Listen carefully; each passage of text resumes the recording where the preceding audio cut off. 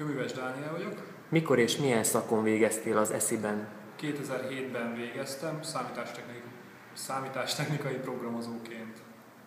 Mivel foglalkoztál az eszi után? Ö, több szakterületen is ö, kipróbáltam magam, ö, és jelenleg most egy biztonságtechnikai cégnél dolgozom. Milyen kedves emlékeid vannak az eszivel kapcsolatban? Ö, rengeteg ö, sok jó emlékem van az eszivel kapcsolatban.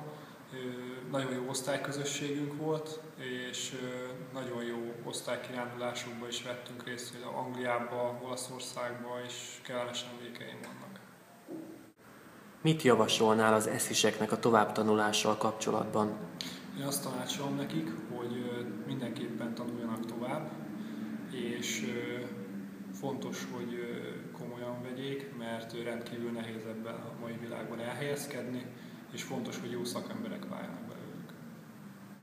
Milyen terveid vannak a jövőre vonatkozóan? Jelenlegi munkámban szeretném tovább képezni